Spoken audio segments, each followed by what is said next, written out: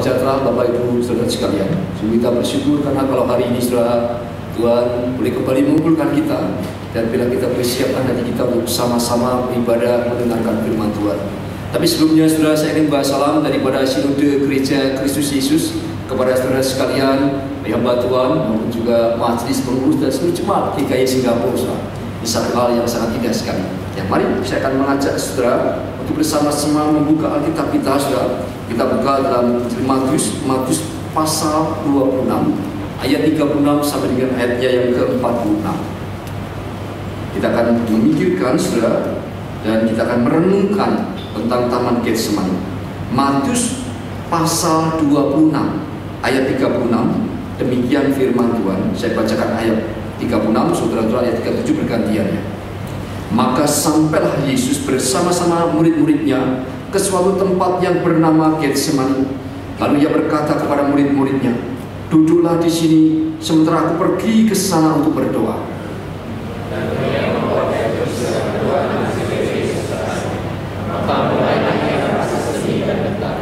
Lalu katanya kepada mereka, "Hatiku sangat sedih, seperti mau mati rasanya. Tinggallah di sini dan berjaga-jagalah dengan aku."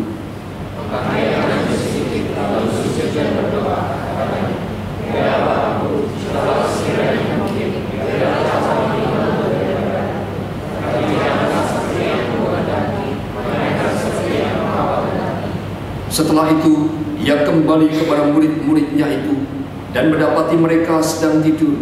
Dan ia berkata kepada Petrus, Tidakkah kamu sanggup berjaga-jaga satu jam dengan aku?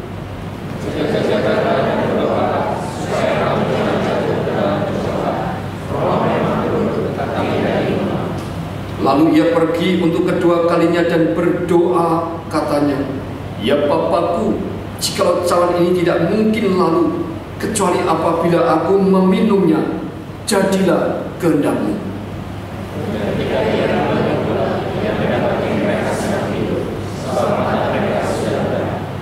Ia, ia membiarkan mereka di situ, lalu pergi dan berdoa untuk ketiga kalinya dan mengucapkan doa yang itu juga.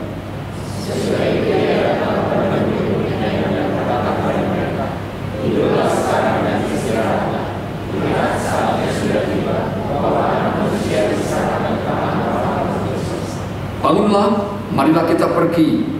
Dia yang menyerahkan aku sudah dekat. Mari kita tundukkan kepala saudara-saudara. Kita mohon pimpinan Allah Roh Kudus yang mewahyukan firman-Nya melalui Alkitab dan Roh Kudus yang sama memberikan pada kita pencerahan dan iluminasi.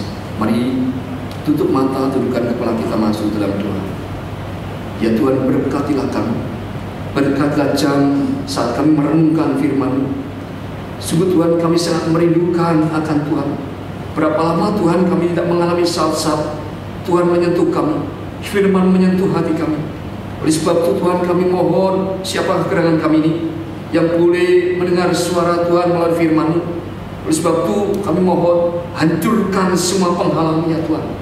Hancurkan semua penghambat, semua benteng-benteng dalam diri kami yang kami tidak sadar sesungguhnya itu menghambat firman Tuhan dan secara tidak sadar menghalangi kami untuk menerima berkat dan mengalami Tuhan.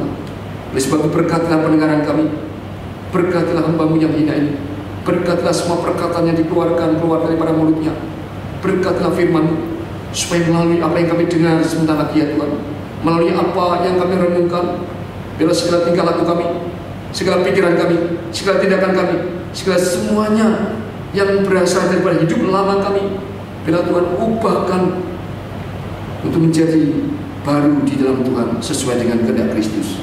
Dengan doa kami di dalam nama Tuhan Yesus Kristus kami berdoa.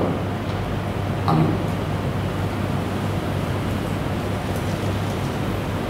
Saudara-saudara saya kasih tahu Kristus, kalau kita pernah melihat film The Passion of the Christ, maka kita sudah akan melihat satu film di mana film itu sudah dibuka, diawali dengan sebuah setting, setting tentang pergumulan Kristus di Taman Getsemani. Dan kalau kita kembali memikirkan, kita kembali membayangkan, mengingatnya kembali saat kita melihat film itu, sudah. Kita perhatikan di situ Tuhan Yesus bergumul dalam doa, dalam sebuah pergumulan yang sangat besar. Kalau kita secara iman bisa hadir di tempat itu, saat itu bersama dengan Tuhan Yesus, kita akan merasa ngeri sekali saudara.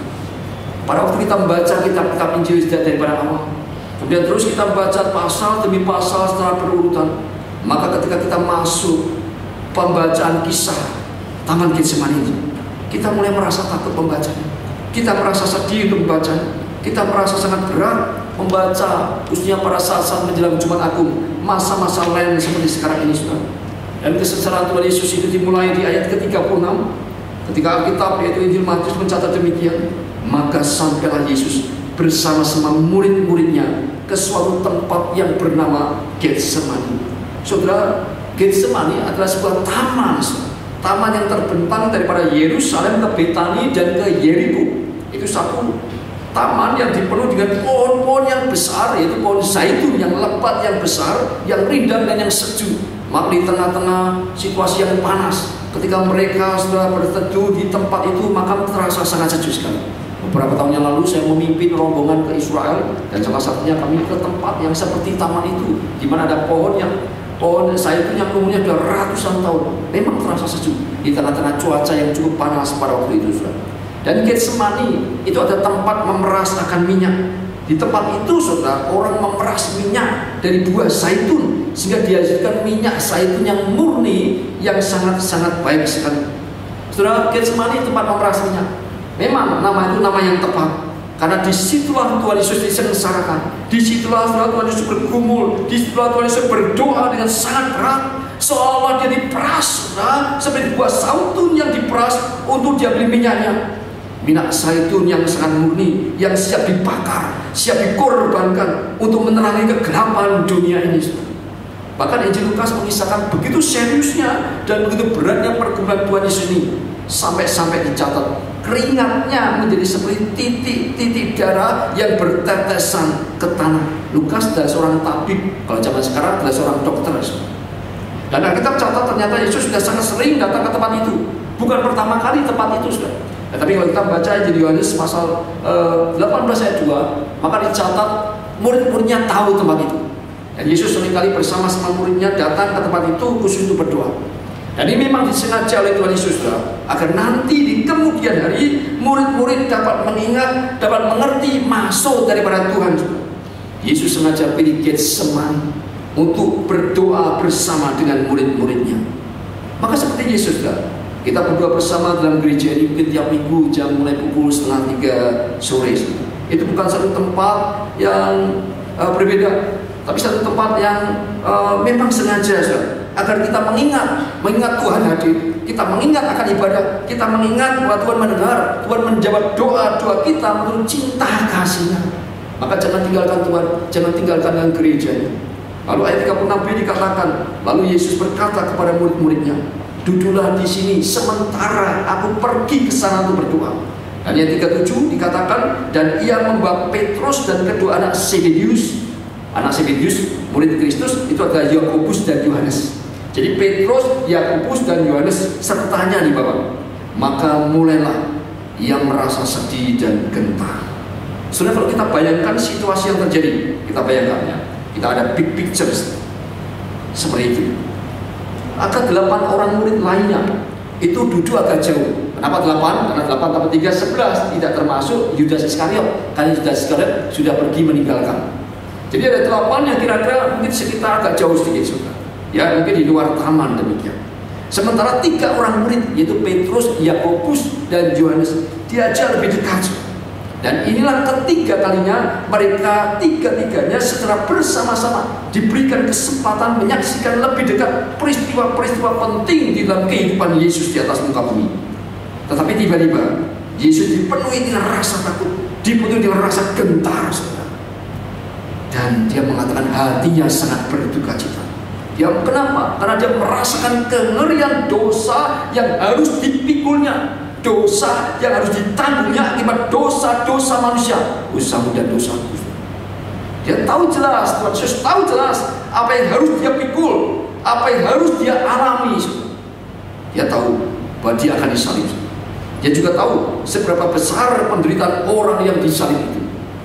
Jauh sebelum hari itu tiba mungkin pada masa remaja Yesus saat dia masih tinggal di Nazaret bersama-sama dengan orang tuanya maka ada suatu masa pada waktu itu Orang-orang senegaranya itu dihasut oleh Yudas, Yudas orang Galilea untuk bangkit melawan penindasan daripada penjajah Romawi. Nah, terus saja pemberontakan itu ditumpas oleh Romawi yang masih kuat. Ya maka Farus seorang pembesar Romawi mengirim bala tentara yang kuat untuk mengatasi dan memadamkan pemberontakan itu. Dan kemudian banyak orang yang ditahan. Sudah tahukah berapakah yang ditahan? Menurut sejarawan Yahudi yaitu Josephus dalam bukunya Jewish Wars, perang Yahudi. Dia mengatakan dalam bukunya kira-kira 2000 orang disalib. Bayangkan 2000 orang disalib itu betapa kejamnya orang Romawi untuk membaca pemberontak. Dan untuk itulah maka puluhan saudara akan tiang yang salib didirikan di pinggir jalan saudara dari Nazaret sampai Danau Galilea. Hal ini tentu merupakan satu pemandangan yang luar biasa sekali pada zaman itu. Dan mestinya semua orang bisa mendengar berita itu dan bisa menyaksikan. Dan memang sengaja pemerintah Romawi supaya orang-orang menyaksikan akan peristiwa penyalipan yang kejam itu sehingga mereka kapok tidak berani lagi untuk memberontak dan mungkin saja Yesus waktu itu masih muram aja mungkin dia dengan mata kepalanya sendiri ya melihat tubuh orang-orang sejamannya disiksa dirusak disesat merana di atas kayu salib yang kejam. Yesus tahu hal ini dan gentar. Yesus tahu, dia tahu dengan jelas apa yang harus dia pikul, apa yang harus dia alami. Tapi bukan itu penderitaan Yesus yang paling-paling menakutkan, yang paling-paling sudah membuat hatinya gentar. Itu bukan satu penderitaan yang terbesar karena penderitaan secara fisik mungkin banyak orang mengalami. Tapi penderitaan Tuhan Yesus yang paling besar adalah ketika Dia yang suci harus menanggung dosa. Bagaimana mungkin dosa bisa ditimpakan kepada dirinya yang suci? Saya punya teman yang takutnya itu sudah takutnya tidak dengan hal-hal yang sangat besar. Kalau orang takut dengan singa, maklum ya. Orang takut dengan hiu, takut. Dengan ular yang besar, takut. Tetapi teman saya ini takutnya dengan serangga, kecoa. Badannya gede, atletis, tapi kalau dia kecoa wah dia bisa loncat setelah di atas meja. Dan dia tidak akan berani bergerak dia teriak-teriak sebelum kecoa itu pergi tidak berani turun. Sangat ngeri sekali dia dengan kecoa. Bayangkan kalau orang takut satu kecoa diikat lalu dikasih kecoa saudara. Tepat di jinnya depan mata tidak satu dua tiga empat. Seluruh tubuhnya di, dipenuhi kecoa. Kira-kira gimana saudara mau mati tidak bisa mati ya mau hidup setelah itu Artinya tidak mungkin dia bisa, sudah dia mungkin pingsan, bangun pingsan, bangun pingsan terus terus lain.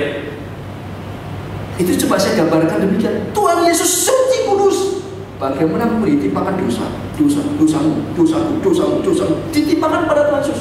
Itu penderitaan yang sangat besar, saudara. Bagaimana Allah yang suci bisa menanggung dosa?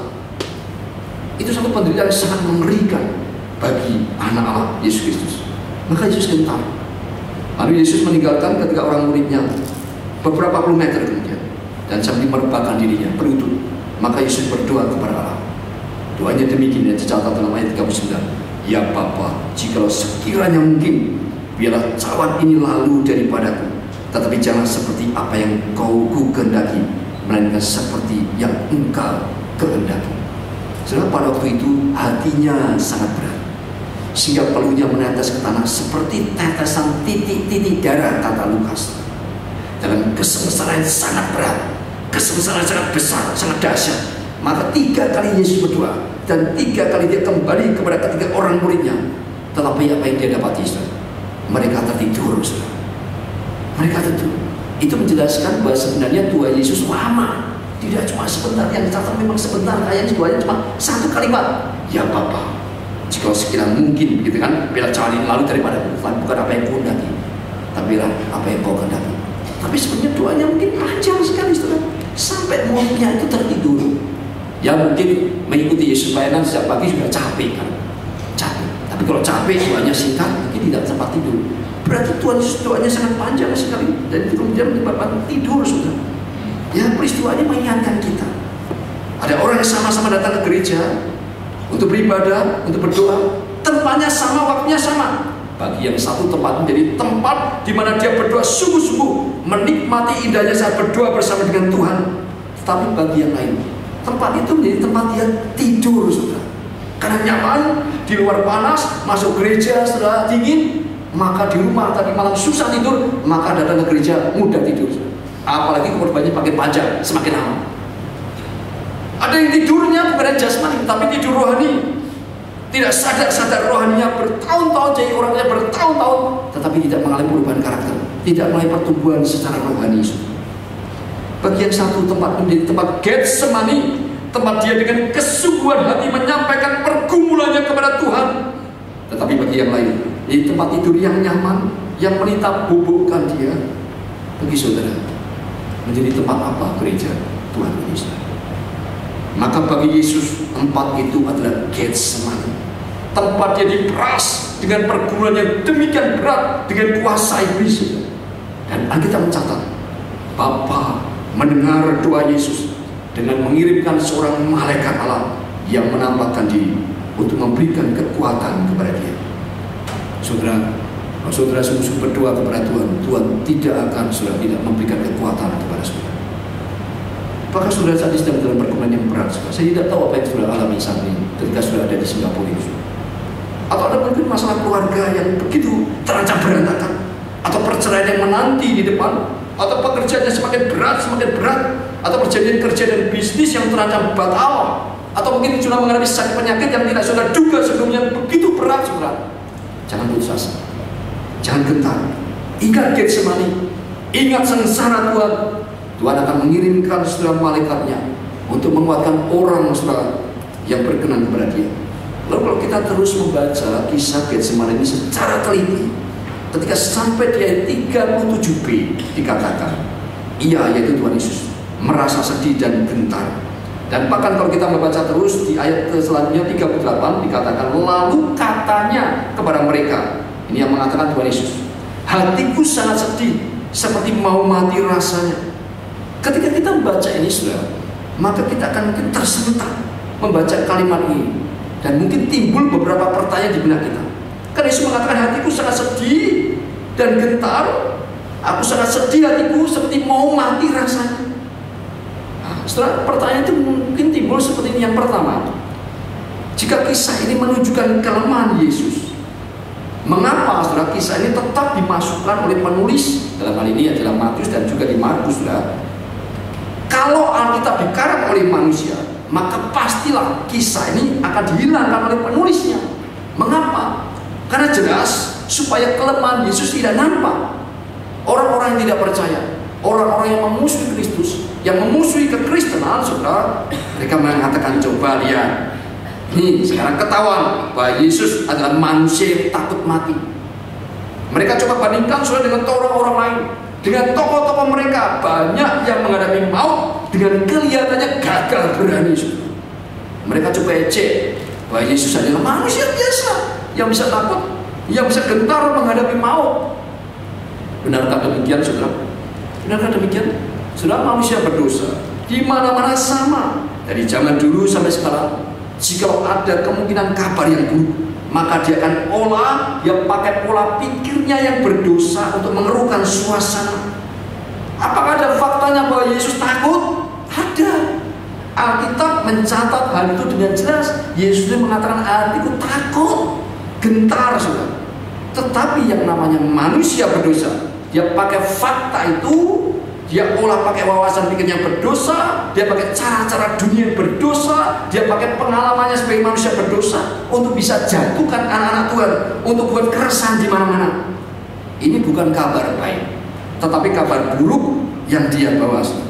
Maka kita perlu berwaspada, kita perlu berhati-hati, saudara, Jangan sampai tanpa sadar kita dipakai untuk membawa berita-berita yang buruk seperti itu yang mendatangkan keresahan, yang merusakkan ketenangan umat Tuhan. Di Indonesia sekarang begitu banyak berita hoax, berita hoax, banyak banget sekali. Dan kita baru akan mengerti berita hoax kalau kita mengalami faktanya, lalu yang diberitakan berbeda sekali dengan apa yang kita alami, baru kita tahu. Walaupun ada storynya, ada ceritanya, kelihatannya beruntut, kelihatan masuk akal. Padahal itu banyak yang hoax. Sekarang jadi kacau sekali, banyak settingan-settingan, khususnya dalam media sosial yang begitu cepatnya menyebar. Saudara. Tapi kita, kita belajar, saudara. Setiap fakta, setiap kejadian, apa pun yang terjadi, baik atau buruk, sebagai hal yang diizinkan Tuhan untuk membawa orang lebih dekat kepada Tuhan, khususnya orang yang percaya. Jadi mengapa tulis Injil tetap mencatat hal ini? Mengapa?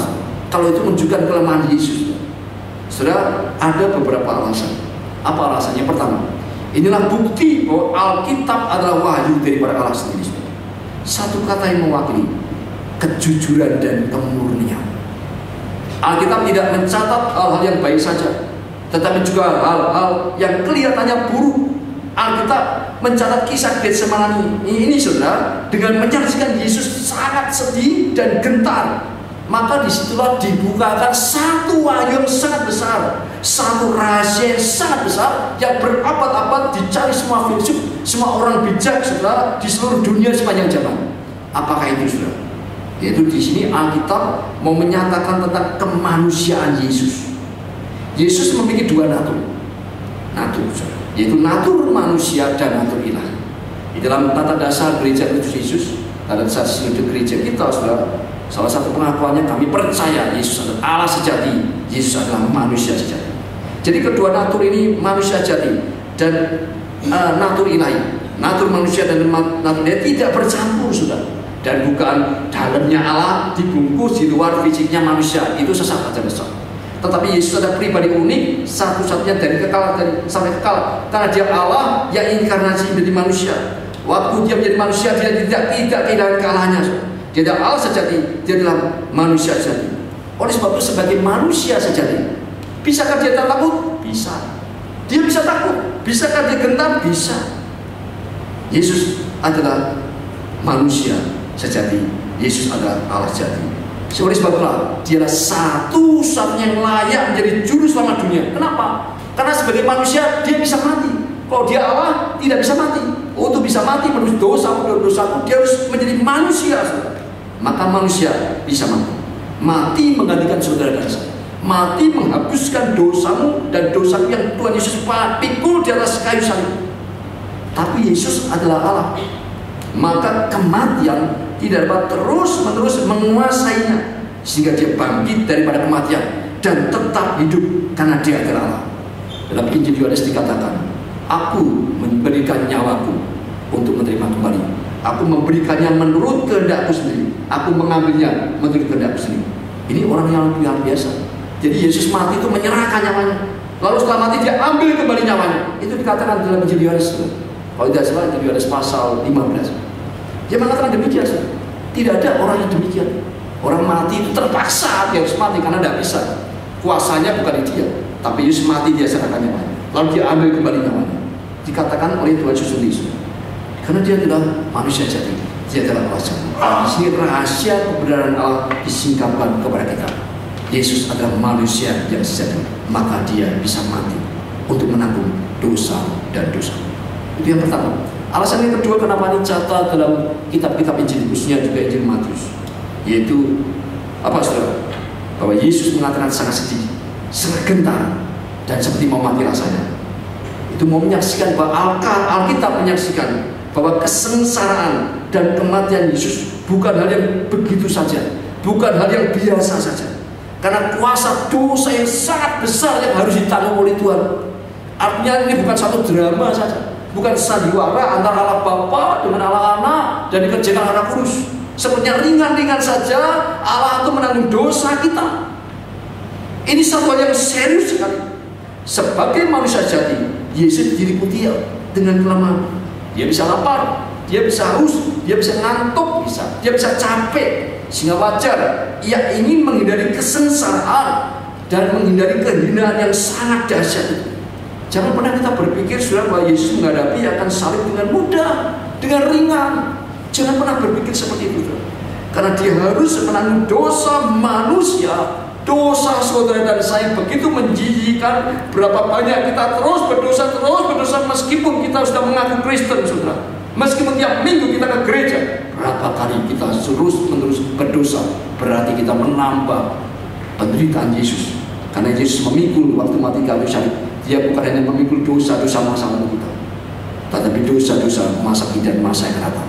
Artinya kalau kita terus berdosa terus berdosa berarti kita semakin menambah penderitaan Yesus di atas kayu salib. Maka tidak heran kalau Yesus mengatakan sangat gentar hatiku sedih dan gentar seperti mau mati rasanya. Yesus tidak main-main dengan dosa. Yesus sangat peka terhadap dosa. Sangat kecil dosa sekalipun. Dia sangat peka karena dia suci. Tubuhnya suci. Dia suci sudah. Dia murni, tubuhnya suci, jiwanya murni yang sangat berkah terhadap dosa yang harus ditimpakan, ditangguhkan dosa semua manusia. Dia harus meminum cawan murka bukan atas dosanya, tapi dosa saudara dan saya. Dosa setiap manusia dari dari Adam dan Hawa sampai nanti pada second kami. Setelah itulah keagungan Tuhan Yesus yang membedakan dia dengan manusia yang berdosa. Banyak orang ketika mau berdosa apa tidak takut. Ya saya kalau berdosa tidak takut. Berbuat dosa tidak takut. Takutnya kapan? Takutnya pada waktu mau menerima akibat hukuman dosa. Waktu menerima hukuman waktu dia dosa. Banyak orang yang korupsi tidak takut waktu korupsi. Waktu ketangkap mau dihukum baru takut. Itu manusia. Tetapi Yesus dia takut dia gentar pada dosa. Bukannya takut dan gentar pada hukuman dosa jadi Yesus tidak takut saudara dengan hukuman pada dosa. Dia takutnya pada dosa yang ditimpakan kepada dirinya. Maukah kita seperti Tuhan Yesus Kristus? Takut berbuat dosa dan bukannya setelah berbuat dosa takut untuk dihukum. Maka jadilah manusia yang kudus. Manusia yang sungguh-sungguh yang murni di hadapan Tuhan. Yang sungguh-sungguh menjadi murid Tuhan yang otentik. Yang kedua, mengapa Yesus membawa murid-muridnya? Ketika dia berdoa di Taman Getsemani. Padahal kalau kita baca muridnya ternyata tidak banyak membantu. Mereka tertidur. Baik 8 murid yang jauh maupun tiga-tiga murid yang lebih dekat. Pada saat Yesus menghadapi masalah yang berat, ini sangat berat. Karena dia tahu itulah tujuan dia datang ke dalam dunia.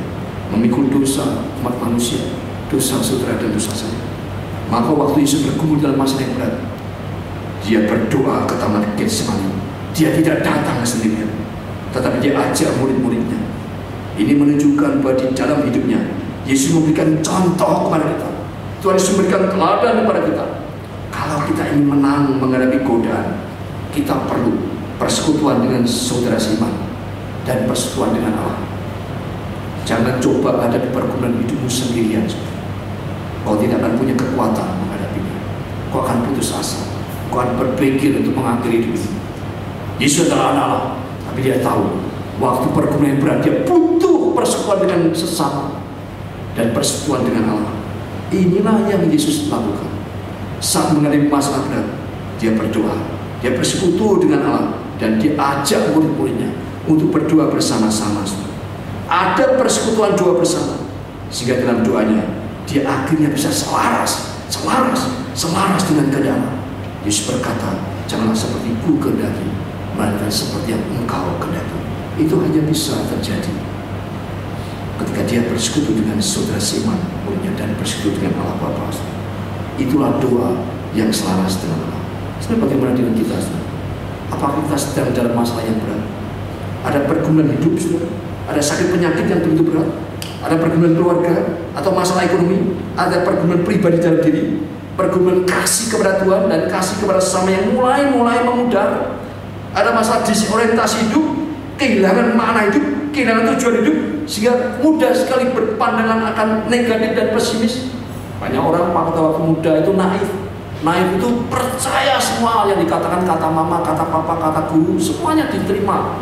Itu namanya naif. Ketika dia tambah dewasa, ternyata kenyataan itu berbeda.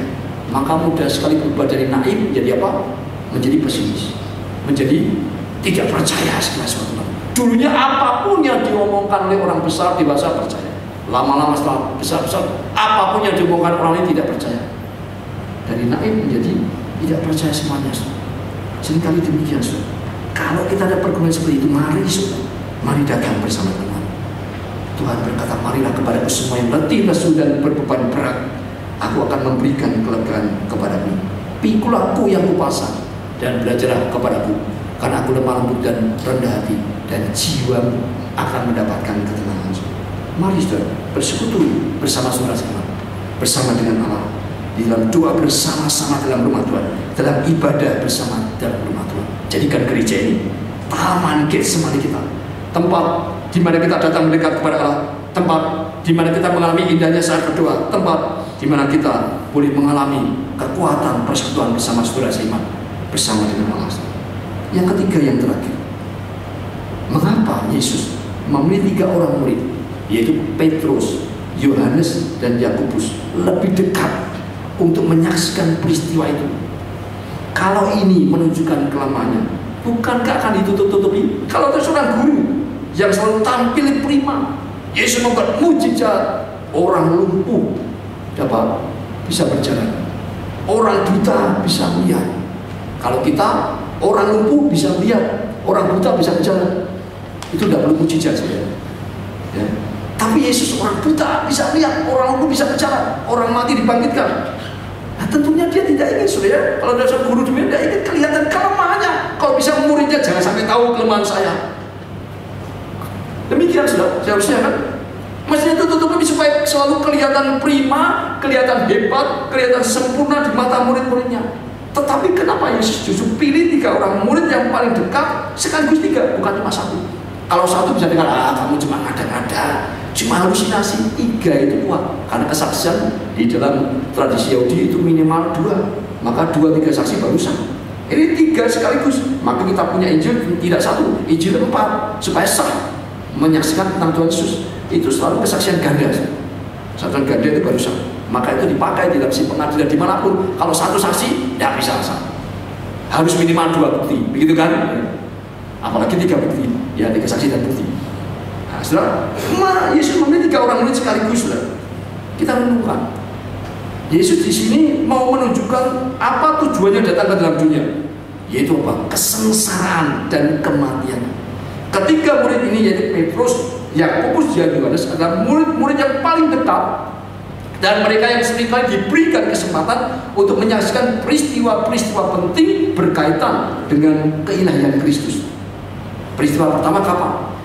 Yaitu pada waktu sudah mereka menyaksikan kemuliaan Kristus, yaitu Kristus kekuasaannya di atas kematian. Itu dalam Matius pasal 9 ayat 23 sampai 26 atau Markus pasal 5. Saat itu apa? Saat itu Yesus membangkitkan anak perempuan seorang kepala sinagog rumah ibadat Yahudi yang bernama Yairus. Anak perempuannya mati Waktu mengatakan dia tidur, orang banyak tertawakan dia. Maka mengatakan yang tertawakan tidak percaya keluar, tidak boleh masuk. Maka yang boleh masuk adalah Petrus, Yakobus, dan Yohanes. Maka di situ kemudian Yesus menyatakan kuasa yang atas kematian. Dia membangkitkan hanya Yesus daripada kematian. Maka bangkit.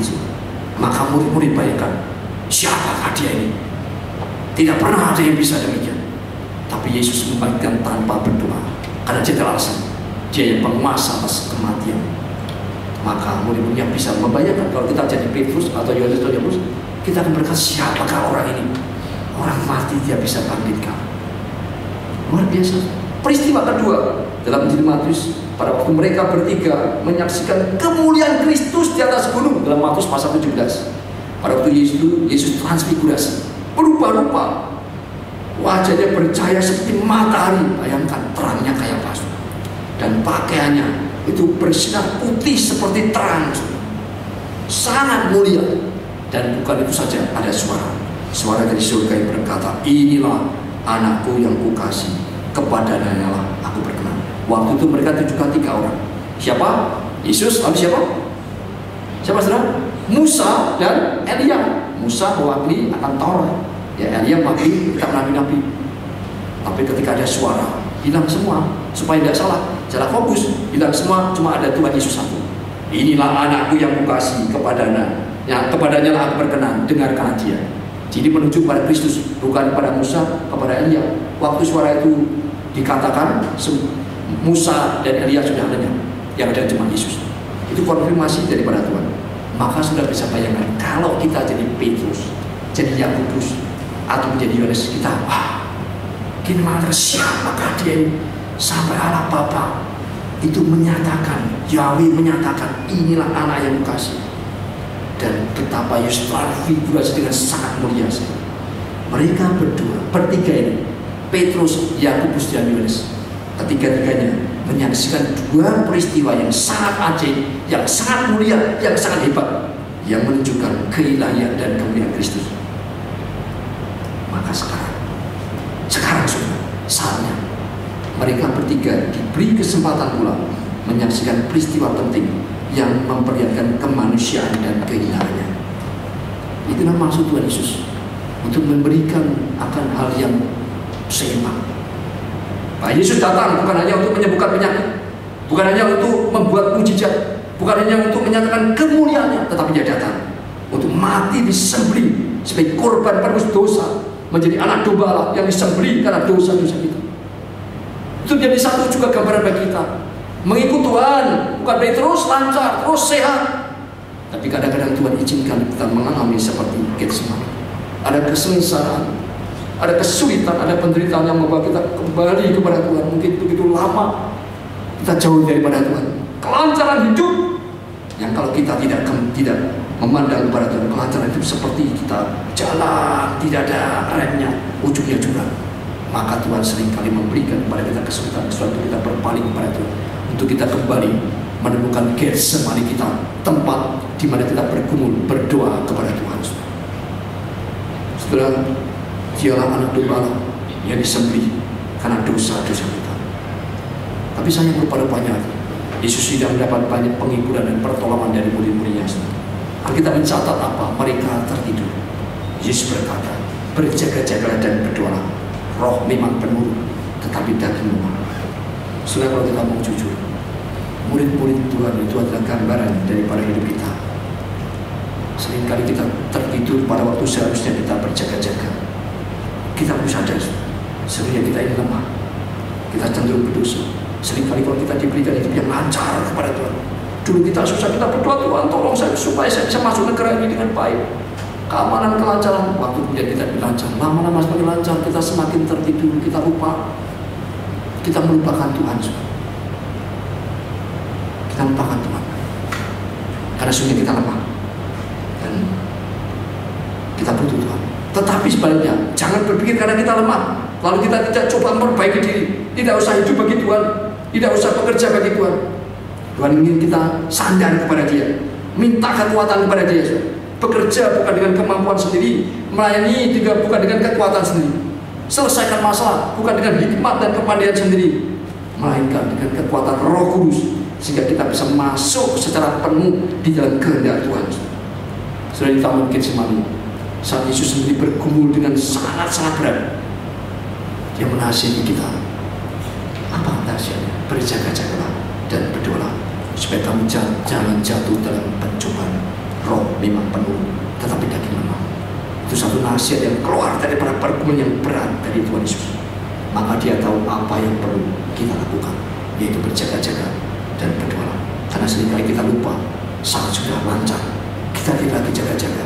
Kita tidak lagi berdoa dengan tekun kepada Tuhan. Semoga kita senantiasa berjaga-jaga dan berdoa bersama-sama. Memasuki masa-masa menjelang Jumat Agung Paskah, masa-masa lain itu masa-masa pertobatan, momen repentance, momen-momen itu bertobat, momen-momen itu kembali kepada Tuhan, momen-momen di mana kita menemukan taman Getsemani kita. Dengan bergumul bukan dengan kehendak kita yang terjadi, tapi kehendak Tuhan yang terjadi.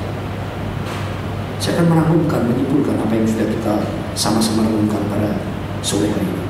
Setelah hari ini kita belajar, kita perlu hidup jujur, hidup murni, hidup otentik, sebagaimana kejujuran dan kemuliaan Alkitab. Demikian pula kita perlu hidup dalam kejujuran dan kemuliaan menjadi murid yang otentik, murid Kristus yang otentik. Yang kedua, kita butuh, kita perlu persekutuan dengan manusia dan persekutuan dengan Allah.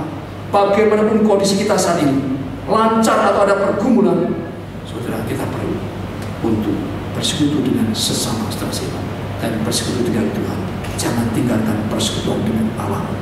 Jangan tinggalkan persekutuan dengan saudara seiman. Yang ketiga, kita perlu berjaga-jaga dan berdoa supaya jangan jatuh ke dalam pencobaan. Karena roh memang penuh, tetapi daging lemah.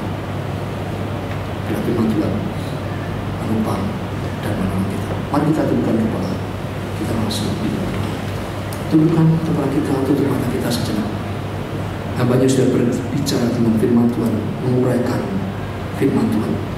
Izinkan Roh Kudus memperlihatkan firman yang ke dalam hati kita, menumbuhkan iman kita, mengubarkan tekad kita untuk menjalankan firman yang sudah kita dengar sore hari.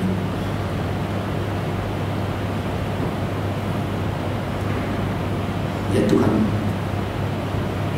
berapa lama kami sudah meninggalkan Getsemani saat hidup kami lancar Seringkali kami tidak membutuhkan taman Getsemani itu. Karena kami berpikir hidup kami baik-baik.